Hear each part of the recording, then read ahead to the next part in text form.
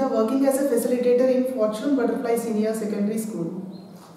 This session will be mainly on work, energy and power which is related to grade 9. Actually, in our daily life, we heard the terms work, energy and power. Let us take few examples where we heard these words. When a farmer is working in the fields and when a farmer is plowing the field, we can say that the work is done.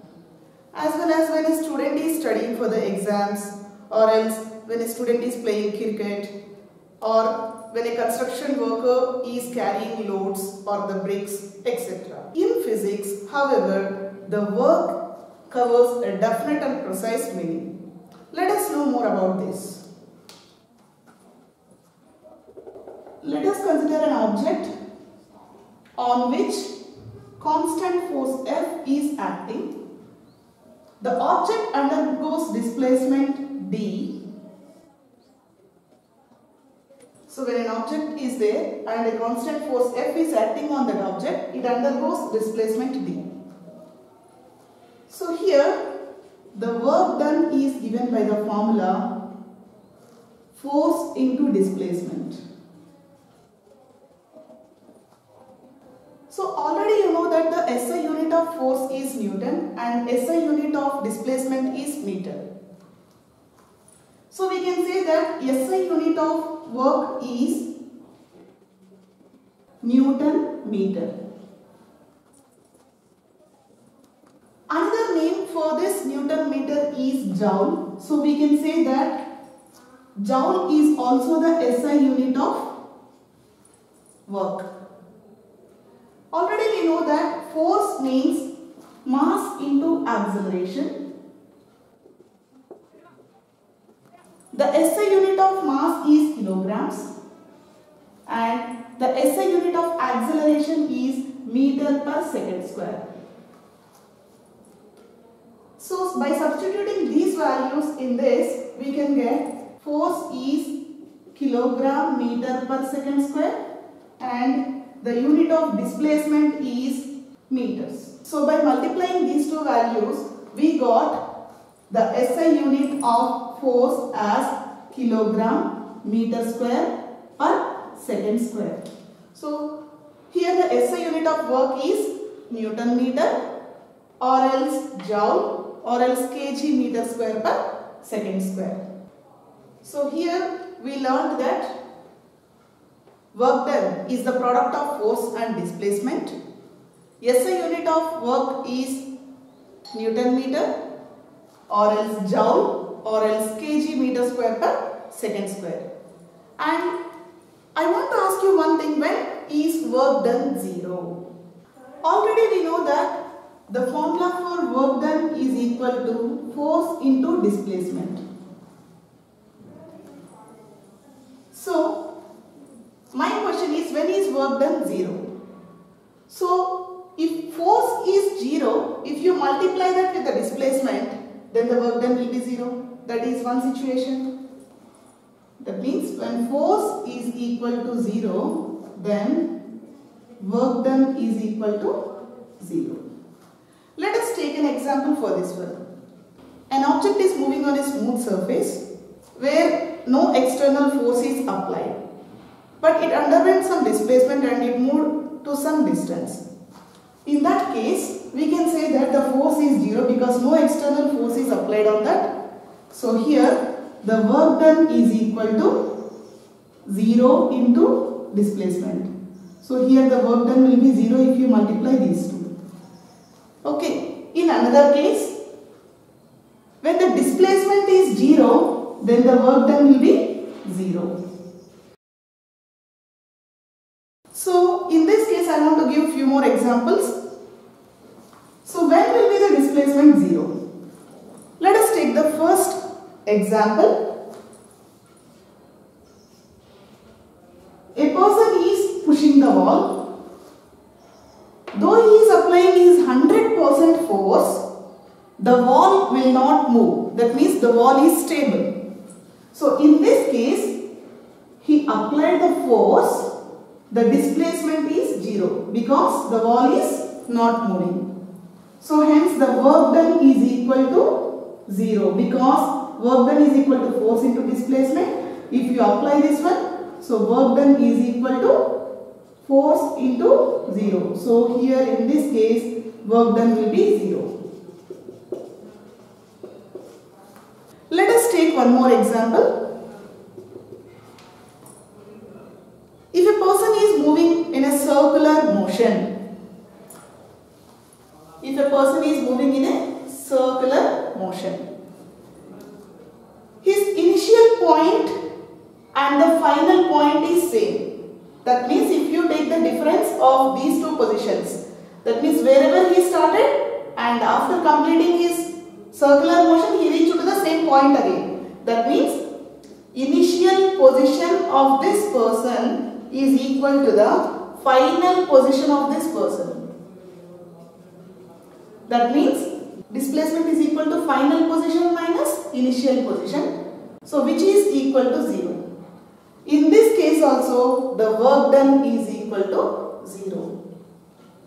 One more case. If a person is moving along a straight path, horizontal path, let us take this path as A and B a person started from point A and reached point B, then again he came to the same point. He started at point A and went to point B, then again reached point A. That means here also the displacement is equal to 0. Then the work done here is also equal to 0. These three are the cases. So when is work done 0? Either the force must be 0 or else the displacement must be 0. Then the work done will be 0. Now let us know about energy. What is meant by energy? Energy means nothing but the capacity to do work or else the ability to do work. The capacity to do work for 10 hours or 15 hours of a day is called as energy. So nothing but the stamina. So here in this case energy is equal to work. Hence here the SI unit of work is joule. So the SI unit of energy is also joule. Energy is divided into two types by virtue of its motion and by virtue of its position.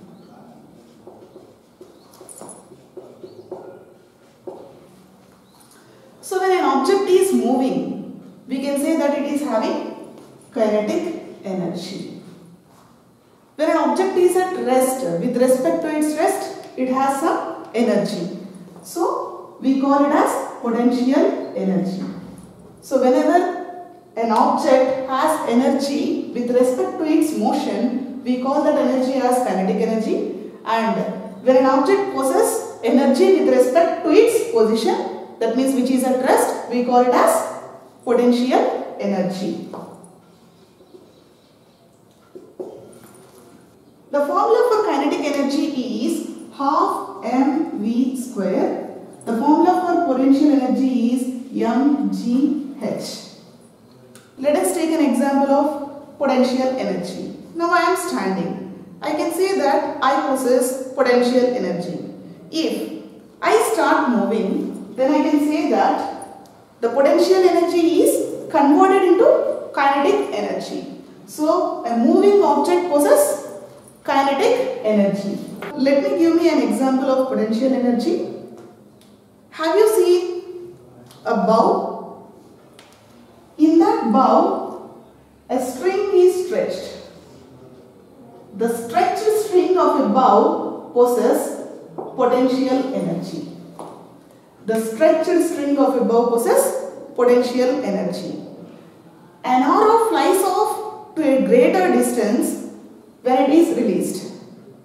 So, here we can say that the stretched string is consisting of potential energy and when an arrow is released from this, it flies off to a greater distance.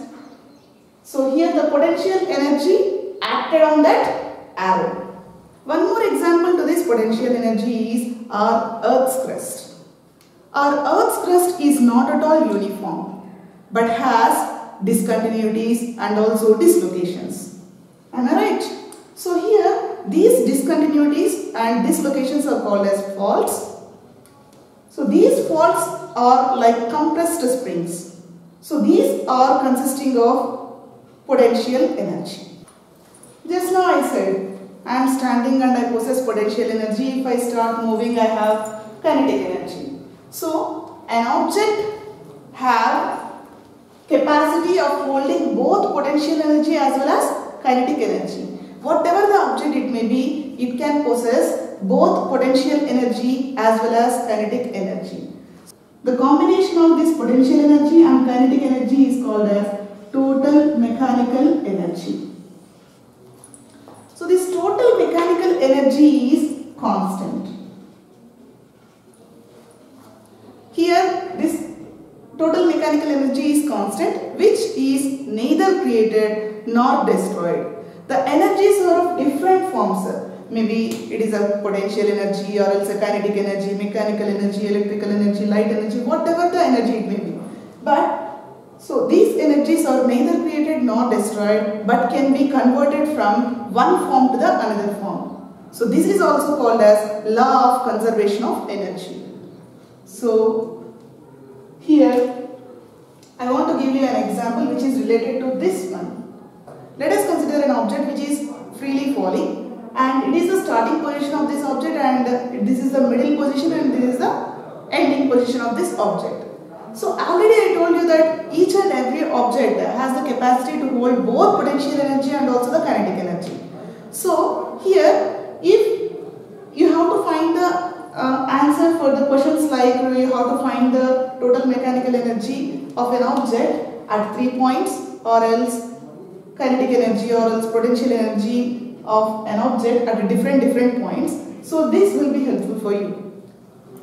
So already I am saying that the object is freely falling. That means the object is at rest now and this is the ground level. If I release this ball, it falls down. Initially, it won't have any energy and because of its position it has some energy. So we call it as potential energy. So initially the object has only the potential energy. So we can uh, say like this. So total mechanical energy at this position if I ask potential energy plus kinetic energy. But here in this case the object is at rest, it is not containing the kinetic energy. So only the potential energy it is having.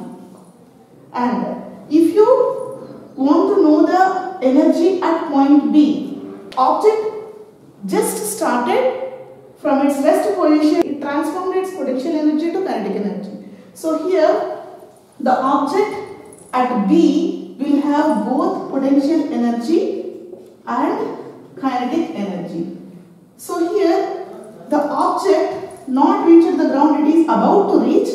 So at this position the object contains only the kinetic energy but not the potential energy because it is not at rest, it is moving. So it contains only the kinetic energy.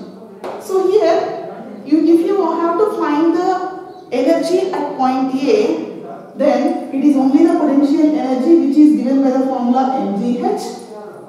And if you want to know the energy at position B, then you have to use this formula mgh plus half mv square and if you have to find the energy at point C of an object then you have to use the formula half mv square. Let me give you some examples which are related to this energy and I told you already energy is neither created nor destroyed. It can be transformed from one form to another form. For example, if I am standing, I possess potential energy and if I start moving, the potential energy is converted into kinetic energy. In the same way, on the fan, then the electrical energy will convert into mechanical energy and the fan runs. In the same way, if I switch on the light, the electrical energy converts into light energy and also the light bulbs heat. Yes or no? It is both the light energy as well as heat energy. Let us know about the topic power. What is meant by power? Power means nothing but the rate of work done. So power means not only the work done but the rate of work done. Let us take an example. If a person is physically fit, he not only climbs the four floors of a building but also climbs faster. So here power is equal to work done by time. The unit of power is what? The SI unit of power is watt. It is named after the scientist James Watt. So here the SI unit of work done is joule and the SI unit of time is second. SI unit of power is watt. So 1 watt is equal to 1 joule per second. Watt can be defined as 1 joule of work done in 1 second. So power is defined as rate of work done. That means power is equal to work done by time. SI unit of power is watt and SI unit of work done is joule. SI unit of time is second.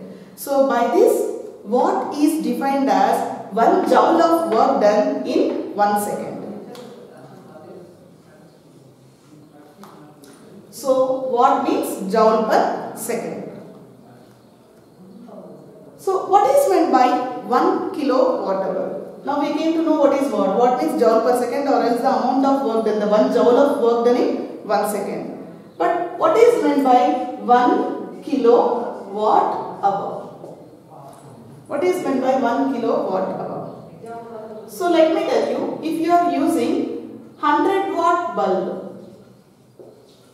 and if you are using it for 10 hours, so then we can say that you used 1 kilowatt hours. When you used 1 kilowatt hours. If you are using 100 watt bulb for 10 hours, then we can say that you used 1 kilowatt hours. So, if you want to convert this 1 kilowatt hour into joule, how to convert? Or else if you want to say 1 kilowatt hour in joules, how to say? Let us know this one. 1 kilowatt hour. Kilo means nothing but 1000. So 1000 watt hour. Hour means nothing but 60 minutes. So if I convert this 60 minutes into seconds, I can write it as 60 into 60 seconds. Right? So now, 1000 can be written as 10 cube watt seconds into 6, 6 are 36, 0, 0. That means 10 cube into 3600 watt seconds.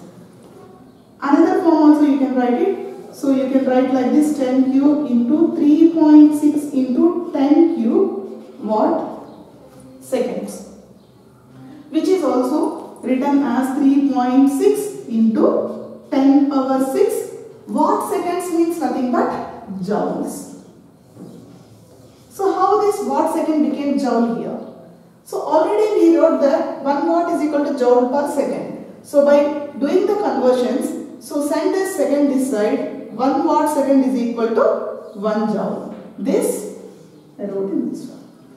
So 1 kilowatt hour means 3.6 into 10 power 6 joules. So there is one more unit for power which is horsepower.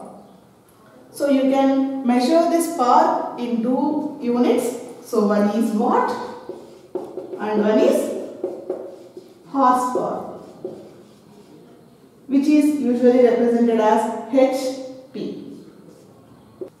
So the SI unit of power is equal to watt or else horsepower. 1 horsepower is equal to 746 watts.